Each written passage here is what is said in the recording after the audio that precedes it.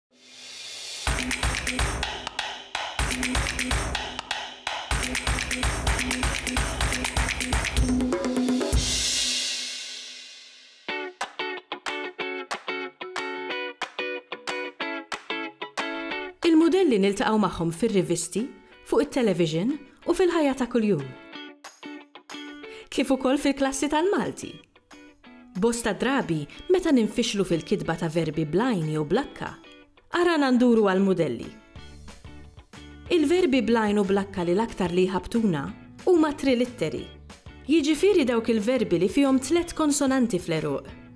Dawn nistgħu naqsmuhom fi tlieta, il-verbi bl-għajn fil-bidu, ngħidu aħna għalaq jew għamel, il-verbi bl-għajn fin-nofs, ngħidu aħna bagħat u lagħab, U l-verbi bl-għajn fl-aħħar. Ngħidu aħna seta' u waqa'. Billi l-konsonanti għajn u erre għandhom karatteristiċi simili, spiss insibu verbi bl-erre bħala mudell għal dawk bl-għajn. Per eżempju, għall-verbi bl-għajn fil-bidu, kemm-il darba ninqdew bil-mudell rifes. Huwa importanti ħafna li l-mudell ikun fl-istess temp, jiġifieri tense, bħall-verb bl-għajn. Mela jekk għandna l-verb għamlu fil-perfett, il-mudell irid ikun huwa wkoll fil-perfett, rifsu. Jekk għandna l-verb fl-imperfett, il-mudell ukoll irid ikun fl-imperfett, nirfsu.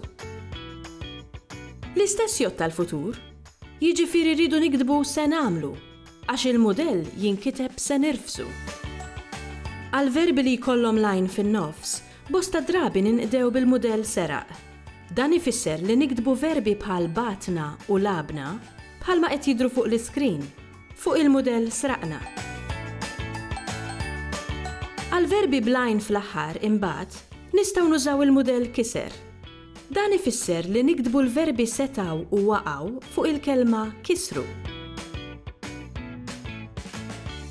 F'dan il-każ, irridu noqogħdu attenti billi xi drabi l-għajn tinbidel f'j. Ngħidu aħna fistajna u fwaqajna. Żewġ tipi oħra ta' verbi bl-għajn li spiss iħawduna huma l-verbi moħfija bl-għajn fl-aħħar, bħal bih. U l-verbi tat-tielet forma bl-għajn fin-nofs, bħal riegħed. Għal bih, nistgħu nużaw il-mudell ħiet, kif muri fuq l-iskrin.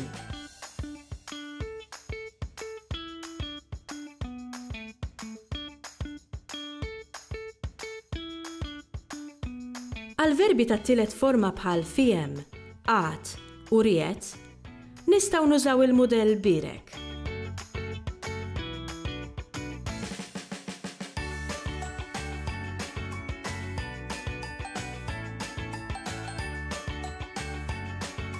Meta nitgħallmu nħaddmu ftit mudelli sew, inkunu nistgħu niktbu mijiet ta' kelmiet b'mod korrett.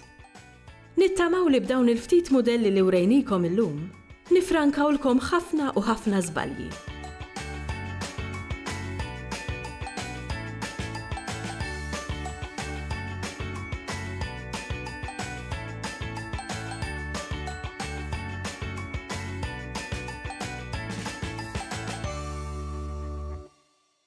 Ilsienna jixtieq jirringrazzja lill-Kunsill Nazzjonali tal-Ilsien Malti, lid-Dipartiment tal-Malti fil-Fakultà tal-Arti, l-Università, lill-Ministeru għall-Edukazzjoni u x-Xogħol u lill-Aġenzija Nazzjonali tal-Litteriżmu.